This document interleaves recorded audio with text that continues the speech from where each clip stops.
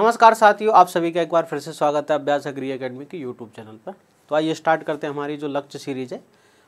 Agriculture के जितने भी कॉम्पिटिटिव एग्ज़ाम्स हैं, सभी के लिए बहुत ही ज़्यादा इंपॉर्टेंट एम सीरीज़ है। आप इसको बहुत वीडियो को एंड तक देखना, जिसमें हम बहुत अच्छे अच्छे जो क्वेश्चन हैं प्रीवियस ईयर एग्ज़ाम्स के अंदर आए हुए क्वेश्चन वो सभी हम सोल्व करने वाले हैं। चलिए तो आप सभी लोग जुड़ जाइए। तो स्टार्ट करते हैं हम।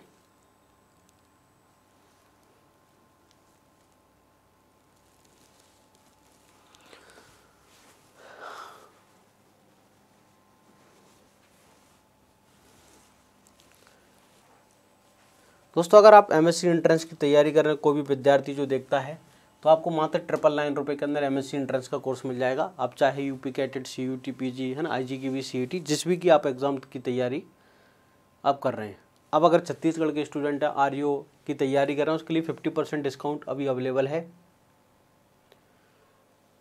चलिए स्टार्ट करते हैं ना। पहला प्रश्न आपके सामने बताइए, क्या है? पहला प्रश्न।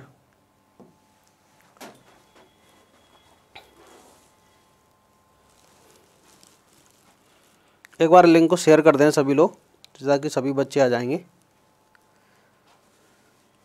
बताइए, क्या आंसर होगा? पहले प्रश्न का आंसर बताएँ। Which statement is incorrect about the drip irrigation बताओ, कौन सा स्टेटमेंट गलत है अबाउट ड्रिप इरीगेशन कौन सा स्टेटमेंट गलत है आपको बताना है?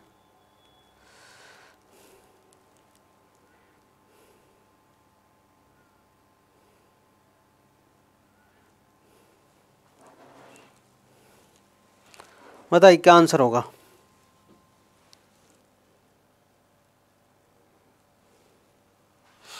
Which statement is incorrect about the drip irrigation कौन सा कथन जो है गलत है?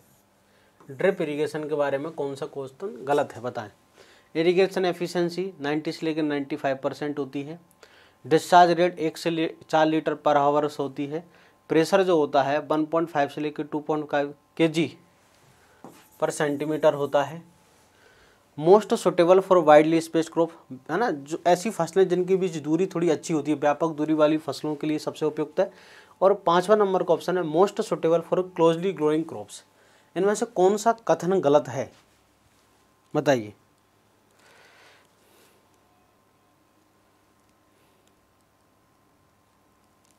विच स्टेटमेंट इज़ रॉन्ग तो आंसर है ई नंबर का। ये ही गलत है ना?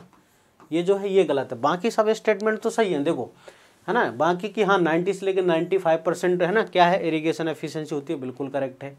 डिस्चार्ज रेट एक से लेकर चार लीटर पर आवर ये भी सही है। प्रेशर 1.5 से लेकर 2.5 केजी पर सेंटीमीटर ये भी सही है। हाँ वाइडली स्पेड क्रॉप के लिए होता है, वो ये भी सही है। हाँ क्लोजली ग्लोइंग के लिए गलत हो गया ना, ये जो स्टेटमेंट है, ये गलत है। अगला प्रश्न बताएँ। Which statement is incorrect about the macaroni wheat बताओ, मैक्रोनी गेहूँ के बारे में कौन सा कथन गलत है? मैक्रोनी गेहूँ के बारे में कौन सा कथन गलत है? आपको बताना गलत है। मैक्रोनी गेहूँ के बारे में कौन सा कथन जो है गलत है? एक बार सेशन को सभी लोग शेयर कर दें। क्या आंसर होगा बताइए? Good afternoon. आपको बताना है which statement is incorrect about the macaroni wheat macaroni गेहूँ के बारे में कौन सा कथन गलत है? इट्स बोटनिकल नेम, क्या टिक्टिकम ड्यूरम? क्या मैक्रोनी गेहूँ का, है ना, बोटनिकल नेम, टिक्टिकम ड्यूरम होता है? पहला ऑप्शन। ठीक है, दूसरा, क्या इसका उपयोग सूजी और सेमिया बनाने में होता है? ठीक है, क्या इसकी एक वेराइटी का नाम जयराज है? चौथा यूज़ फॉर उपमा प्रिपरेशन बताओ, कौन सा स्टेटमेंट गलत है?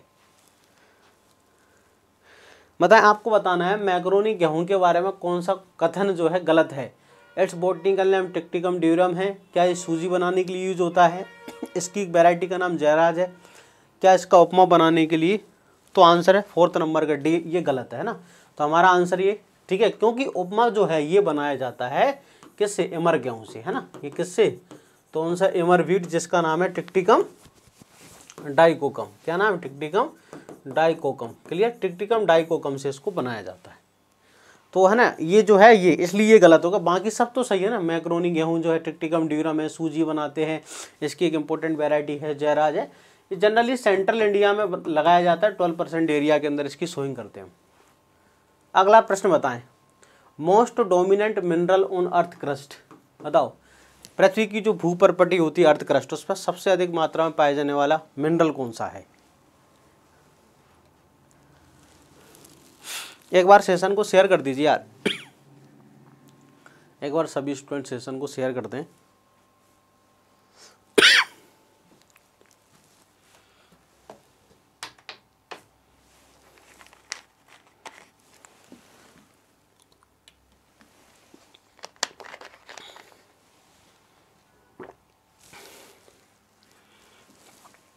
क्या आंसर होगा बताइए। आपको बताना है, इसमें से कि most dominant mineral on earth crust earth crust भू प्रॉपर्टी पर सबसे ज़्यादा डोमिनेंट कौन सा होता है? तो देखो, डोमिनेंट याद रखना कौन सा होता है? फेल्सपार। यही होता है लगभग अड़तालीस परसेंट यस अड़तालीस परसेंट, है ना? डोलोमाइट, ये तो बहुत कम होते हैं। डोलोमाइट किसका एक सोर्स है? जैसे मैग्नीशियम का एक इम्पोर्टेंट सोर्स है। एपेटाइट किसका? फोस्फोरस का है। टर्मिलन बोरोन का है। फेल्सफार वहीं पर पोटेशियम का होता है ना? चलिए तो आंसर हो जाएगा हमारा यहाँ पर याद रखना डोलोमाइट अड़तालीस सॉरी क्या बोलते हैं? फेल्स फॉर अगला isolation distance for foundation seed in rice ठीक है फाउंडेशन सीट प्रोडक्शन के लिए आधा जो है राइस की आइसोलेशन डिस्टेंस कितनी होती है?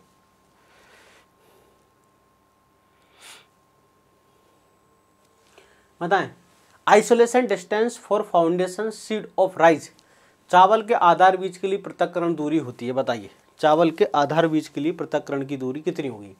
Isolation distance for foundation seed of rice चावल के आधार बीज के लिए पृथककरण की दूरी कितनी होती है? अगर राइस में आपको फाउंडेशन सीड बनाना है तो आइसोलेशन डिस्टेंस थर्टी तीन थर्टी फाइव और फिफ्टी सेंटीमीटर मीटर कितनी होगी? तो वो सिंपल है, इसका आंसर तीन मीटर होती है। कितनी होती है? बिल्कुल, तीन मीटर होगी। याद रखना, कितनी होती है? तीन मीटर है ना? चाहे फाउंडेशन पूछे आपसे, चाहे सर्टिफाइड पूछे, दोनों के लिए, है ना? चाहे वो फाउंडेशन क्या पूछे, चाहे सर्टिफाइड की पूछे, ठीक है? सर्टिफाइड की पूछे तो याद रखना, तीन मीटर। इसके लिए कितनी होती है? तीन मीटर होती है। इसके लिए भी तीन मीटर होती है, याद रखना। फाउंडेशन सर्टिफाइड दोनों के लिए तीन मीटर ही होती है। हाँ हाइब्रिड के लिए 200 मीटर होती है। अगर हाइब्रिड का पूछे ना, कि हाइब्रिड सीड तो हाइब्रिड सीड के लिए कितनी होती है? 200 मीटर होती है। इसके ज़रूर याद रखना। राइस में हाइब्रिड सीड के लिए आइसोलेशन डिस्टेंस होती है ना 200 मीटर होती है। ठीक है? राइस में जो है, याद रखना, हाइब्रिड सीड प्रोडक्शन के लिए आइसोलेशन डिस्टेंस जो होती है, वो कितनी होती है? 200 मीटर होती है, राइस के लिए। हाइब्रिड सीड में। बाकी फाउंडेशन सर्टिफाइड के लिए, जो प्रमाणित के लिए तो तीन मीटर ही होती है। अगला बताएँ। Which is the deemed university for fisheries education in India Bharat में मत्स्य शिक्षा के लिए डीम्ड विश्वविद्यालय कौन सा है? सी आई एफ़ टी है सी आई एफ़ आर आई है बताइए central institute of fisheries technology है central institute of fisheries research institute है। बताइए सी आई एफ़ ए है सी आई एफ़ ई है? आप सब बताने कि कौन सा डीम्ड यूनिवर्सिटी है? क्या आंसर होगा? फिशरीज एजुकेशन के लिए भारत में इनमें से कौन सी डीम्ड यूनिवर्सिटी है? फिशरीज एजुकेशन के लिए इनमें से कौन सी डीम्ड यूनिवर्सिटी है? बताएँ कमेंट सेक्शन में।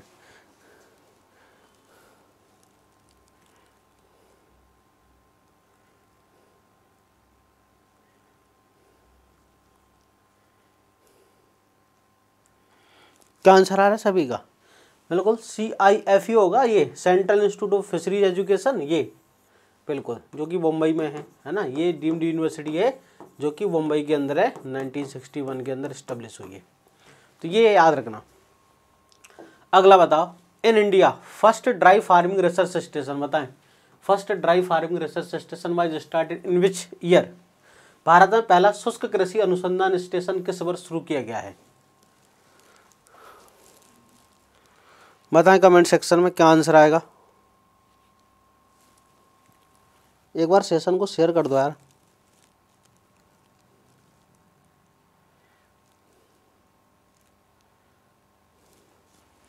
क्या आंसर आएगा बताएँ। कि है ना in India first dry farming research station was started in which year 1954 23 26 33 क्या आंसर आएगा। बताएँ।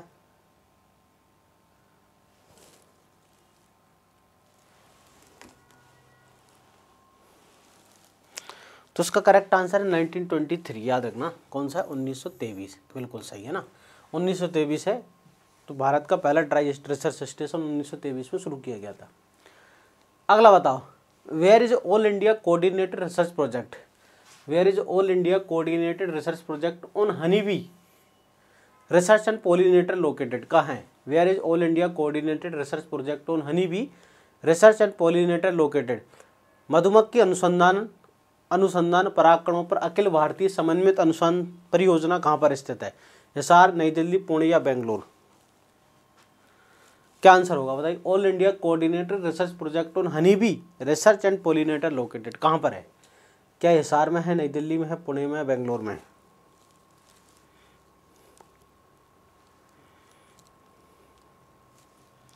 क्या आंसर आएगा? All India Coordinator Research Project on honey bee research pollinator located कहाँ पर है? तो बिल्कुल करेक्ट आंसर है, नई दिल्ली। कहाँ पर है? यस कहाँ पर है? नई दिल्ली के अंदर, याद रखें। कहाँ पर है? नई दिल्ली के अंदर ये स्थित है। अगला बताइए। इंस्टीट्यूट है ना? International institute international institute of horticulture international institute of horticulture कहाँ पर बताओ। International institute of horticulture is located अंतर्राष्ट्रीय। अंतर्राष्ट्रीय हॉर्टिकल्चर अनुसंधान संस्थान कहाँ पर है, बताएँ। ये सब एमपी के प्रीवियस अभी जो एग्ज़ाम हुए, उन सभी के अंदर आए हुए क्वेश्चन हैं। इसलिए मैं आपको करा रहा हूँ, अभी मध्य प्रदेश में जो एग्ज़ाम्स हुए थे ना, उनके अंदर ये आए हुए क्वेश्चन हैं। International institute of horticulture Cambodia Sri Lanka Brazil India कहाँ पर है? तो ब्राज़ील के अंदर, याद रखना, कहाँ पर है? ब्राज़ील बिल्कुल सही आंसर है। चलिए। अगला प्रश्न का आंसर बताएँ।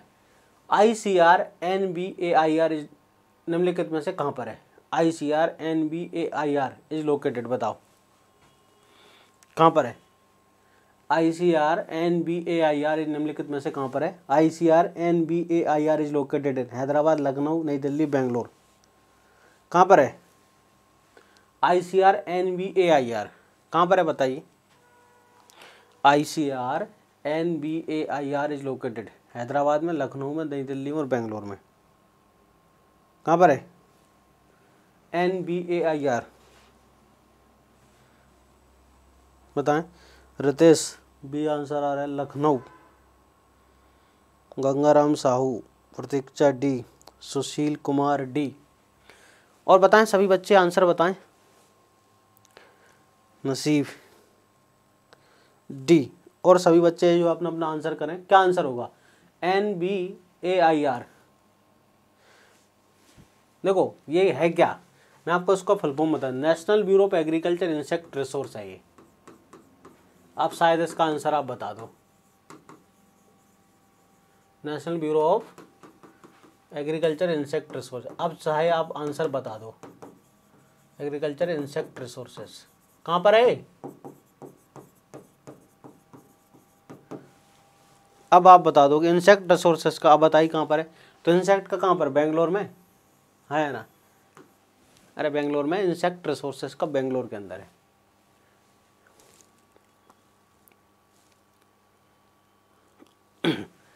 DNA exist as a double helix कि डीएनए जो होता है डबल हेलेक्स होता है as a result of hydrogen bond कि डीएनए जो होता है, भाई, है ना डबल हेलेक्स होता है, क्योंकि उसके बीच में हाइड्रोजन बॉन्ड्स होती हैं। यस अच्छा ये हाइड्रोजन बॉन्ड्स बनते किसके बीच है? प्रश्न ये है कि अच्छा हाइड्रोजन बॉन्ड्स किसके बीच बनते हैं? हाइड्रोजन बॉन्ड्स किसके बीच बनते हैं? बताओ। इसके, है ना, किन के बीच? हाइड्रोजन बंध के परिणाम स्वरूप डीएनए एक डबल हेलिस के रूप में मौजूद होता है। Sugar molecules phosphate group nucleohistone और नाइट्रोजन बेस डीएनए जो होता है डबल हेलिक्स है।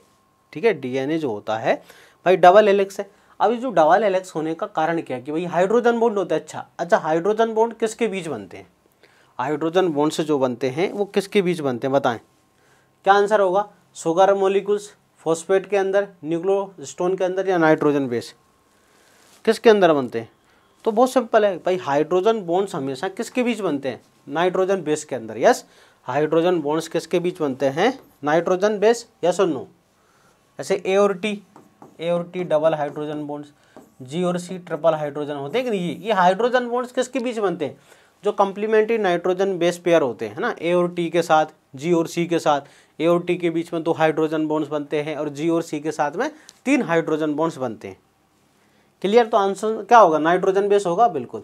चलिए।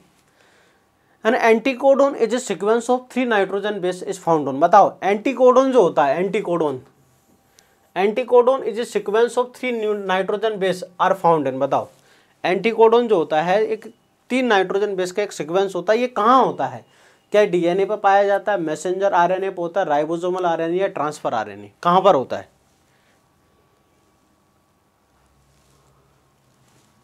बताएँ।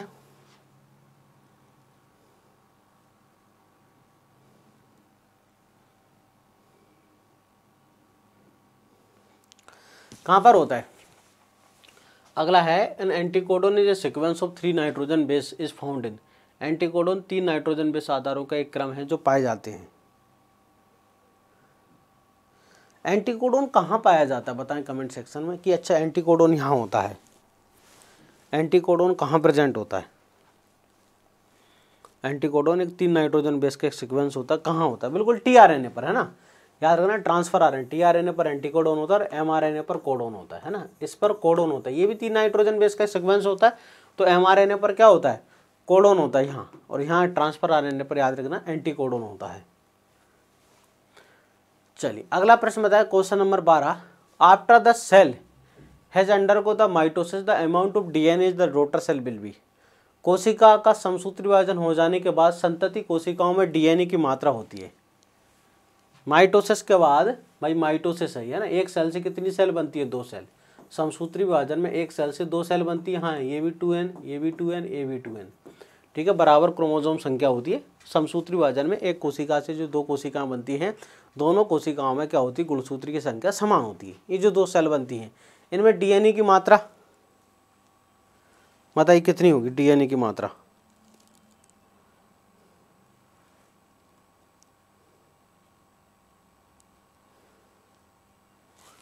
तो बराबर होती है parent cell yes daughter cell में जो है क्रोमोजोम बराबर डीएनए सारी चीज़ बराबर होती है ना? भाई, जो दो सेल्स बनती हैं, ये वाली माइटोसिस के अंदर, ये दो सेल बनती है कि नहीं? ये वाली हाँ। इन दोनों सेल में क्रोमोजोम ना डीएनए वगैरह सब कुछ बराबर होते हैं equal to the parent cell अगला प्रश्न बताएँ। Which can observe in the interphase nucleus under the light microscope सरल माइक्रोस्कोप से केंद्रक में इंटरफेज अवस्था में क्या दिखाई देता है?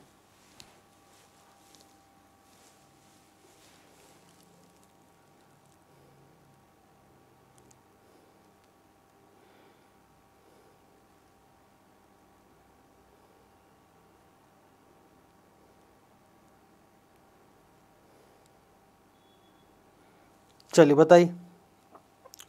आपसे पूछ रहे हैं कि which can observe in the interphase nucleus under the light microscope light microscope है ना? याद रखना लाइट माइक्रोस्कोप सरल माइक्रोस्कोप से केंद्रक में इंटरफेज अवस्था में क्या दिखाई देता है? क्रोमोसोम न्यूक्लियोसोम सेंट्रोसोम या हेट्रोक्रोमेटिन क्या दिखाई देता है? बताएँ।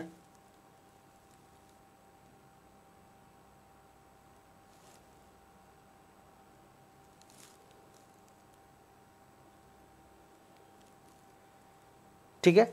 तो तो इंटरफेज में ना तो हमको क्रोमोजोम दिखता है क्रोमेटिन फाइबर होता है ना? क्रोमोजोम नहीं दिखते क्या होता है? क्रोमेटिन फाइबर न्यूक्लोसोम नहीं दिखता सेंट्रोसोम नहीं दिखता। हमको, है ना? क्रोमेटिन फाइबर का ये वाला फॉर्म हमको देखने को मिलता है ना? ये वाला जो है, हमको ये देखने हेट्रोक्रोमेटिन ये जो क्रोमेटिन फाइबर होता है ना क्रोमेटिन फाइबर तो क्रोमेटिन फाइबर जो है, उसके जो होता है, बाहर की तरफ़ तो डार्क स्टनिंग होता है जो, बाहर की तरफ़ जो होगा, वो डार्क होता है ये ऐसा। कि बाहर की तरफ़ डार्क हेट्रोक्रोमेटिन हमको देखेगा। हेट्रोक्रोमेटिन एक प्रकार का क्या है? क्रोमेटिन फाइबर ही है तो ये हमको देखेगा। बाकी सारी चीज़ें हमको नहीं दिखती हैं। बाकी सारी चीज़ें हमको नज़र नहीं आती हमको क्या नज़र आता है? हेट्रोक्रोमेटिन ही नज़र आएगा। क्लियर क्या नज़र आएगा? तो आंसर हेट्रोक्रोमेटिन ही हमको नज़र आता है। क्लियर चलिए, अगले क्वेश्चन की तरफ़ चलते हैं। अगला है nuclear envelope reappear nuclear envelope हमको कब दोबारा से दिखाई देता है?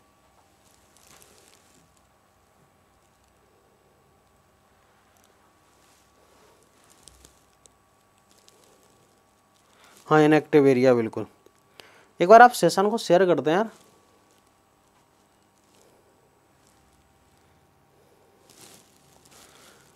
अगला प्रश्न बताएँ कि अच्छा केंद्रक झिल्ली पुनः कब दिखाई देती है?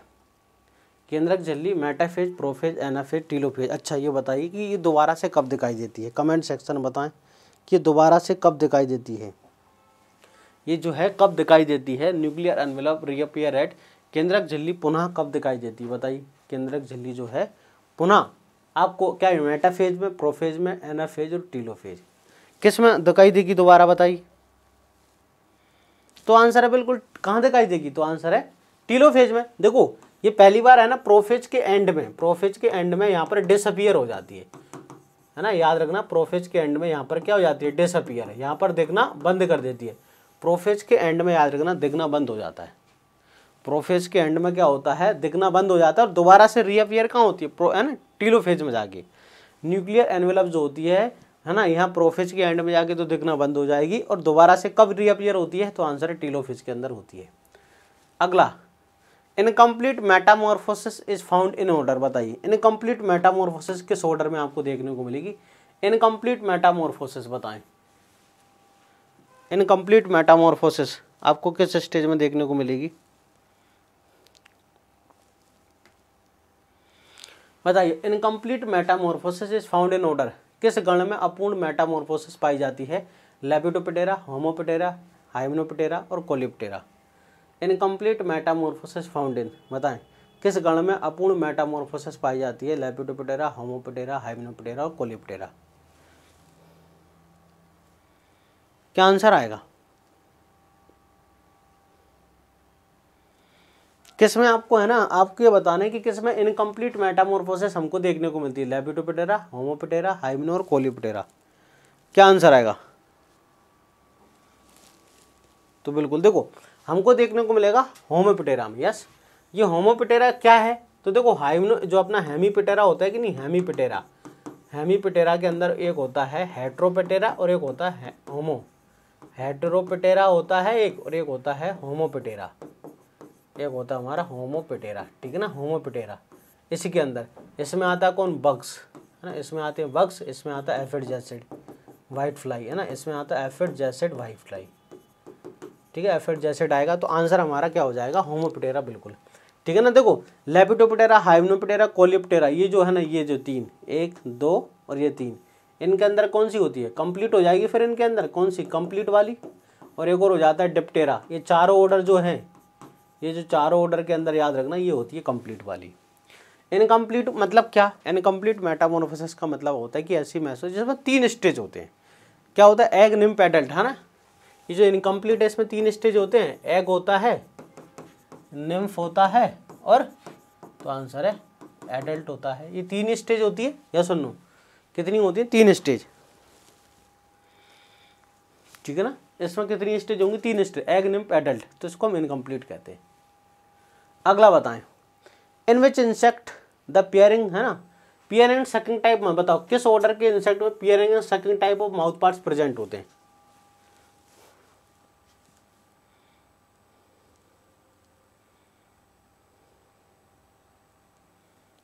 बताएँ। In which insect the piercing of sucking type mouth parts piercing and sucking type mouth parts किसमें आपको देखने को मिलेंगे? किस क्लास के इंसेक्ट ऑर्डर में आपको piercing and sucking type mouth parts देखने को मिलते हैं? बताएँ। किस क्लास के ऑर्डर में आपको, किस क्लास के इंसेक्ट में?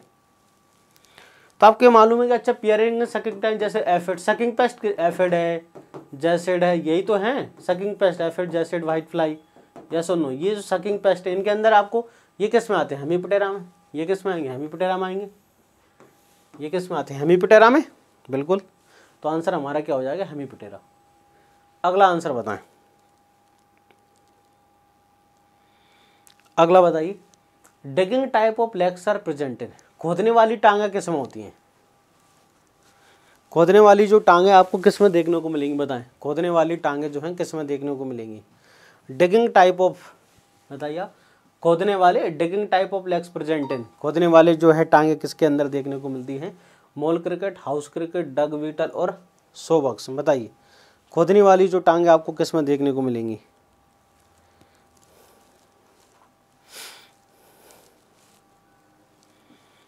बताइए क्या आंसर होगा? Digging type of legs present in mole cricket, house cricket, dung cricket और सोबक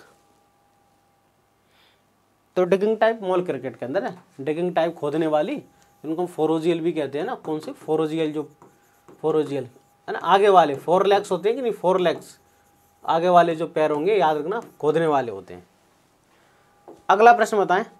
The higher L D fifty value indicates the following अगर किसी इंसेक्टिसाइड की एल डी फिफ्टी वैल्यू ज़्यादा है, इसका मतलब क्या है? कि वो न्यूट्रल है लेस टॉक्सिक है हाईली टॉक्सिक है नन ऑफ़ दीज है।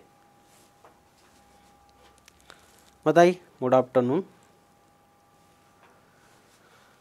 आपसे प्रश्न पूछा जा रहा है कि, है ना high L D fifty value higher L D fifty value indicates the following अगर किसी इंसेक्टिसाइड की एल डी फिफ्टी वैल्यू ज़्यादा है, इसका मतलब क्या है?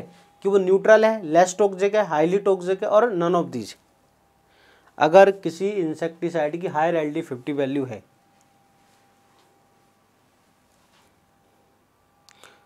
क्या होगा?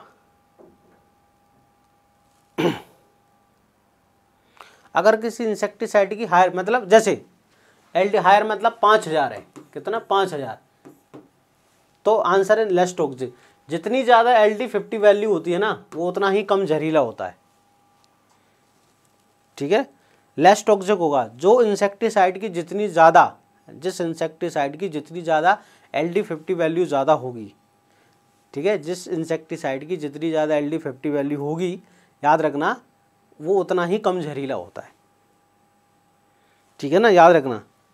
आप हमेशा एक बात याद रखना कि, है ना, जो जहरीलापन है, ऐसे लिख लेना कि एल डी फिफ्टी वैल्यू जो है, सीधा सीधा इन्वर्स है ना बेतक्रमण टॉक्सिसिटी याद कर लेना आप हमेशा कि एल डी फिफ्टी वैल्यू अगर जितनी ज़्यादा होगी ये तो मतलब ये टॉक्सिसिटी उतनी कम होती है। बात समझ में आ रही? है टॉक्सिसिटी उतनी ही कम आपको। देखो, बहुत सिंपल है समझना।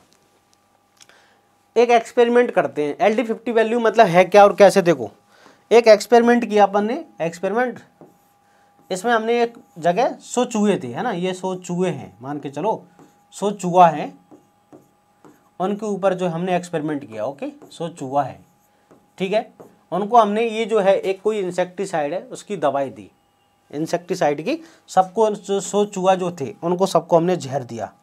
इस जहर में से अगर फिफ्टी परसेंट जनसंख्या मर जाती है तो वो क्या फिफ्टी परसेंट जनसंख्या, है ना? जो भी हमने जो दवाई दी है, जो भी हमने इंसेक्टिसाइड इनको दिया है कि नहीं और उनमें से पचास परसेंट पॉपुलेशन मर जाती है तो वो एल डी फिफ्टी उस इंसेक्टिसाइड की एल डी फिफ्टी वैल्यू कहलाती है।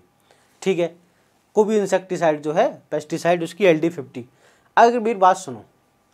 अगर हम इस इंसेक्टिसाइड की, देखो 500 सौ एम से सिर्फ़, है ना, इसको कितना? कि हमने 500 मिलीग्राम दिया। 500 मिलीग्राम। और 50 परसेंट लोग, है ना, मर गए। और, है ना, वहीं दूसरे इंसेक्टिसाइड की हमने 5000 मिलीग्राम दिया। 5000 मिलीग्राम।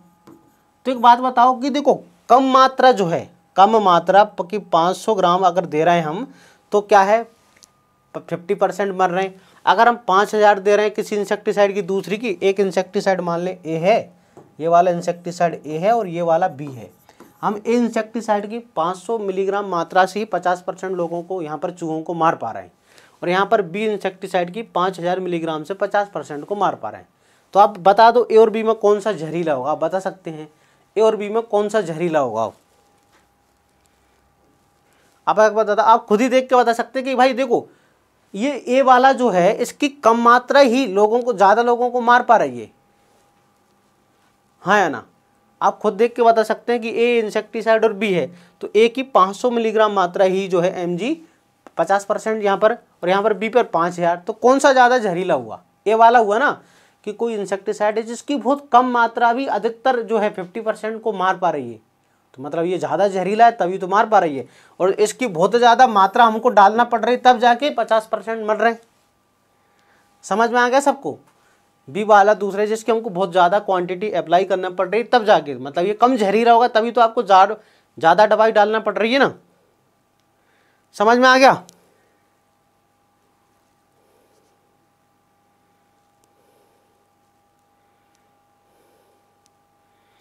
समझ में आ गया ये वाला कंसेप्ट हम हमेशा? याद रहेगा? क्लियर हो गया ना? चलिए।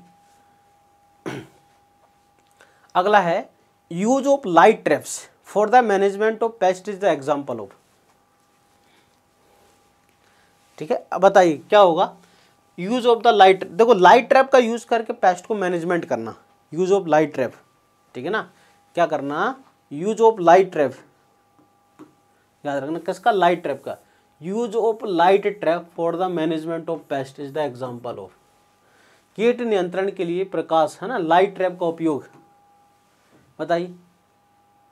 Use of light trap for the management of pest क्या कल्चरल मेथड है? क्या मैकेनिकल मेथड है? लीगल मेथड या बायोलॉजिकल है? क्या आंसर होगा? आपसे पूछ रहे हैं लाइट ट्रैप का यूज़ करके अगर हम किसी पेस्ट को कंट्रोल करते हैं तो इसका आंसर ये किस मेथड में आता है? कल्चरल में आता है मैकेनिकल में आता है। किसमें आएगा? किसमें आएगा? बिल्कुल, ये एक प्रकार का मैकेनिकल मेथड, यांत्रिक विधि होती है ना? Can see? मैकेनिकल मेथड है। अगला बताइए आप। Which one of the following elements are essential for the photolysis of water निम्नलिखित में से कौन सा तत्व जल के जल के प्रकाश अपघटन के लिए आवश्यक है? कैल्शियम और क्लोरीन है, मैग्नीज, कैल्शियम, क्लोरीन है, जिंक एंड आयोडीन है और कॉपर एंड आयरन है, बताओ। आपसे पूछ रहा है कि कौन सा तत्व जो होता है वाटर के फोटोलाइसिस के लिए ज़रूरी है, बताएँ। कौन से एलिमेंट जो है वाटर के फोटोलाइसिस के लिए ज़रूरी है? Which one of the following element are essential for the photolysis of water निम्नलिखित में से कौन सा तत्व जो है जल के प्रकाश से अटन के लिए आवश्यक है? Calcium chlorine, manganese calcium chlorine, zinc iodine. तो बिल्कुल याद रखना, मैग्नीज कैल्शियम क्लोरीन, ये तीन बहुत ज़रूरी होते हैं, वाटर के टूटने के लिए। पानी के टूटने के लिए ये तीनों बहुत ज़रूरी होते हैं। अच्छा एक प्रश्न मेरे को आप ये बताओ, ये तीनों बहुत इंपॉर्टेंट है, ठीक है ओके एक प्रश्न आप मेरे को बताइए, क्या कि है ना पी एस फ़र्स्ट और पी एस सेकेंड इन दोनों में से जल का फोटोलाइसिस किसमें होता है? बस इतना सा प्रश्न है, कि अच्छा वाटर का फोटोलाइसिस किसमें होता है पी एस फ़र्स्ट में या सेकेंड में? आपके बताना है कि, है ना, किसमें होता है वाटर का फोटोलाइसिस पी एस फ़र्स्ट या सेकेंड ये तीनों एलिमेंट काम करते हैं जल के, अब टूटने में तो अच्छा पी एस फ़र्स्ट में होता है सेकेंड में होता है?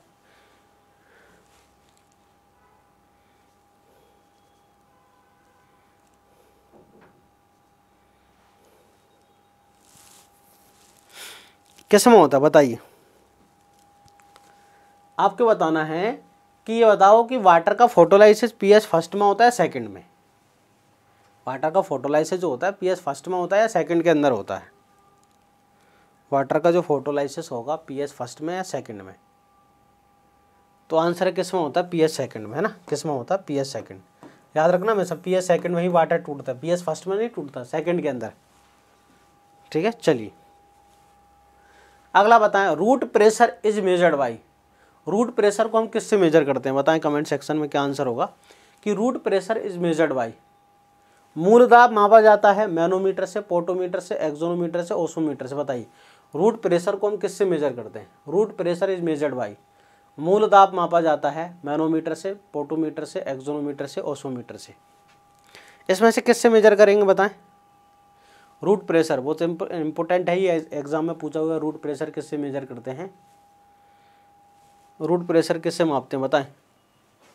Root pressure is measured by manometer potometer auxanometer osmometer तो आंसर है मैनोमीटर क्या मैनोमीटर के द्वारा हम रूट प्रेशर को मेजर करेंगे? बिल्कुल। मैनोमीटर के द्वारा हम करते हैं।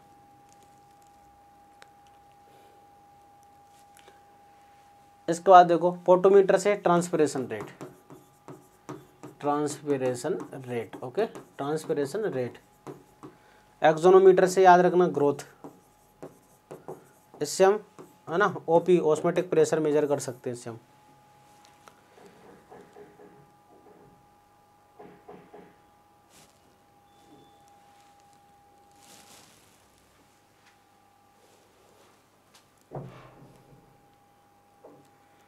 चलिए, अगले प्रश्न का आंसर बताइए आप। प्रोसेस आकर्षण लीव्स विच में लोअर देयर टेम्परेचर इज़ बताओ, पत्तियों में होने वाली प्रक्रियाएँ जिससे उनका तापमान कम होता है, ऐसी कौन सी प्रोसेस जिससे टेम्परेचर कम हो जाएगा? प्रोसेस आकर्षण लीव्स विच में लोअर देयर टेम्परेचर बताओ, इनमें से कौन सी प्रक्रिया जो है जिससे तापमान कम हो जाएगा? तो बिल्कुल ट्रांसपरेशन एक प्रोसेस जैसे लीव का टेम्परेचर कम हो सकता है यस ट्रांसपरेशन एक प्रोसेस जैसे लीव का टेम्परेचर क्या होगा? कम होता है। ये सही है ना? ट्रांसपरेशन ही सही है। रेस्पिरेशन फोटोसिंथेसिस हाइड्रोलाइसिस में याद रखें ट्रांसपरेशन वो प्रोसेस होती है जिससे लीव का टेम्परेचर कम होता है। इसलिए तो होता ही है। अगला प्रश्न है twenty three M L O first discovered by mycoplasma की खोज सबसे पहले किसने की बताएँ? माइकोप्लाज्मा की खोज जो है सबसे पहले MLO first discovered by MLO को सर्वप्रथम किसने खोजा? लुइस पास्टर ने, कोच ने, डो एटल ने और अनुपम वर्मा ने। किसने खोजा? बताइए। लुइस पास्टर ठीक है, कोच, रॉबर्ट कोच जो है, डू एटिल बताएँ किसने? तो डो एटल यस किसके द्वारा खोजा गया है? याद रखें, डो एटल के द्वारा, है ना? प्लांट के अंदर इसने खोजा ना एम को प्लांट के अंदर इसी ने खोजा। कौन सी disease? Aster yellow of sunflower. Aster yellow of sunflower को खोजा है। किसको? एस्टर येलो ऑफ़ सनफ्लावर को इसने खोजा है। वैसे तो देखो, सही है ना, जो एनिमल के अंदर पहली जो डिज़ीज़ खोजी गई थी पीपीएलओ जो है पीपीएलओ से तो तो नोकार्ट एंड ड्रॉक्स ने खोजा था, एनिमल के अंदर। नोकार्ट एंड ड्रॉक्स ने तो एनिमल में खोजा था, कि नमोनिया बट प्लांट के अंदर पहली डिज़ीज़ जो है ना डोएटल ने एस्टर येलो सनफ्लावर को खोजा था माइकोप्लाज्मा सेल मेम्ब्रेन है हाउ मेनी लेयर्स देखो माइकोप्लाज्मा में सेल वॉल एबसेंट होती है यस माइकोप्लाज्मा के अंदर सेल वॉल एबसेंट होगी हाँ या ना? माइकोप्लाज्मा में सेल वॉल एबसेंट होती है, बिल्कुल। होती है कि नहीं? माइकोप्लाज्मा में क्या होता है? सेल वॉल एबसेंट होती है।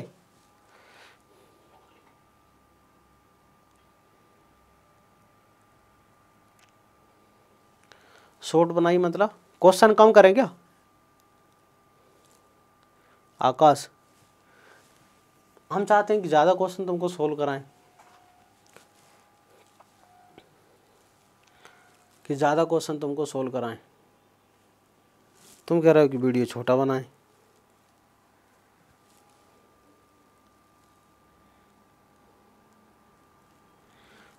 तो माइक्रोप्लाज्मा तीन लेयर है सेल वॉल एबसेंट होती है थ्री लेयर है।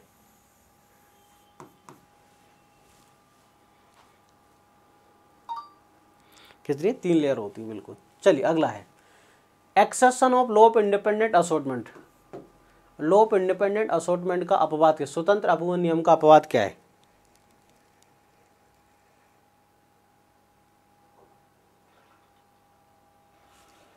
बताइए exception of law of independent assortment आपको बताना है, स्वतंत्र अपवन नियम का अपवाद क्या है?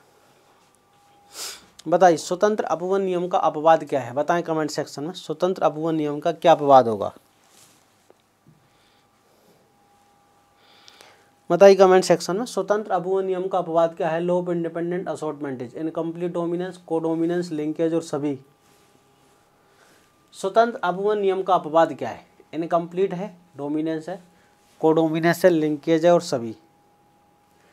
आपको बताना है इनकम्प्लीट है ना? डोमि असोट सॉरी इंडिपेंडेंट असोटमेंट नियम का एक्सेप्शन क्या होता है? तो बिल्कुल, इसका एक्सेप्शन क्या है? तो आंसर है लिंकेज ठीक है ना? ऑल नहीं होगा लिंकेज इसका एक्सेप्शन ये दो किसके हैं? ये तो लोब डोमिनेंस के हैं। भाई, ये तो एक्सेप्शन लोब डोमिनेंस के हैं, है ना? ये जो दोनों तो है इनकम्प्लीट डोमिनेंस और कोडोमिनेंस ये दोनों तो हैं किसके? तो आंसर ये तो डोमिनेंस के हैं। हाँ लिंकेज जो होता है लिंकेज याद रखना इंडिपेंडेंट असोटमेंट का एक अपवाद है। ये लिंकेज मोस्ट इम्पोर्टेंट है ना? तो याद रखना ये। चलिए तो कंप्लीट हो गए यहाँ तक।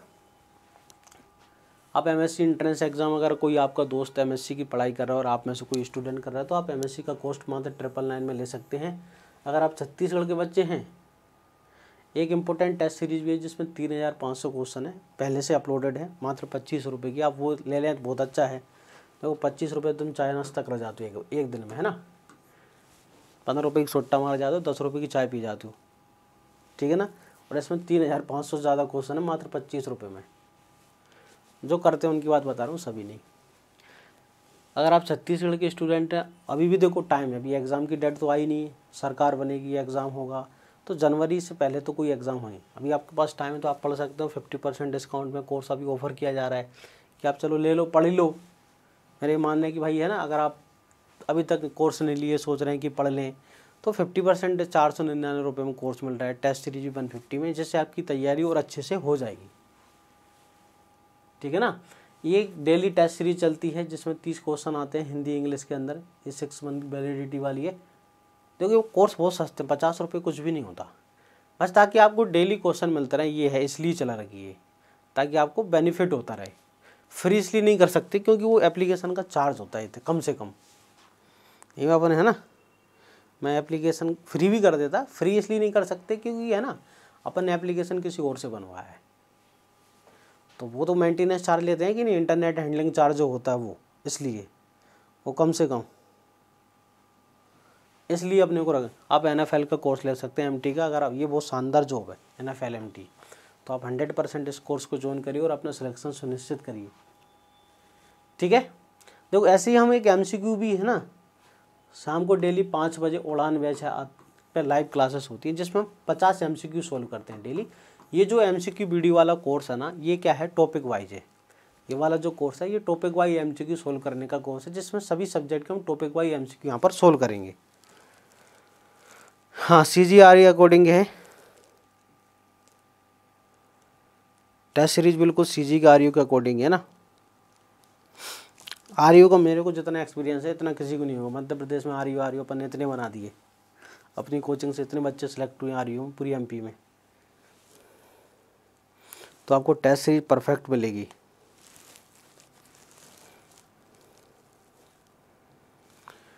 ठीक है, आप ये उड़ान बैच जो है, जिसमें एग्रीकल्चर जैसे हम यूट्यूब पर पढ़ते हैं, ऐसा ही कोर्स है। ये एप्लीकेशन पर चलता है, चार सौ इसकी वैलिडिटी सिक्स वन ईयर है, चार सौ निन्यानवे में।